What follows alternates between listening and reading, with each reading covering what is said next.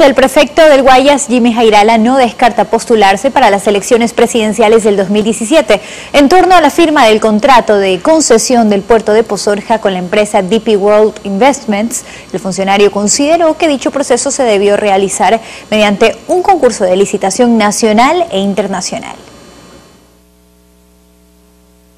El modelo de alianzas público-privadas, aprobado en una legislación el año pasado y bajo el cual el gobierno nacional firmó el contrato de concesión del puerto de Pozorja con la empresa de Dubai DP World, tuvo sus reparos por parte del prefecto del Guayas. Aunque ya es un poco llover sobre mojado, habría sido mejor que se haga ese concurso eh, vía licitación nacional e internacional no se, lo, no se lo procese como se lo hizo de manera directa, más aún cuando no se trató de un Estado con otro, sino de una empresa privada con el Estado.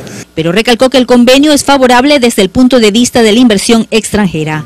Consultado si participará en las elecciones presidenciales del 2017, Jairel indicó que ese no es un tema descartado. Estoy evaluando la posibilidad de, la, de la candidatura. Mientras tanto, nosotros solo estamos trabajando para ese propósito, la candidatura nuestra. Luego de eso, sea cual fuere nuestra decisión, veremos si vamos solos, si vamos en alianza. Para la Asamblea sí lo descarto totalmente, totalmente. Yo tengo una obligación con la provincia hasta, hasta el 2019. Esa decisión, dijo, se conocerá a fines de septiembre.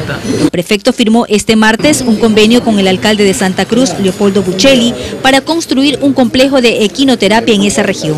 Tenemos alrededor de unos 60 niños en la isla que tienen problemas y que eh, están ya dentro del programa del tratamiento para recibir las terapias. El centro estaría listo en dos meses. Marta Navarrete, Telegrama Noticias.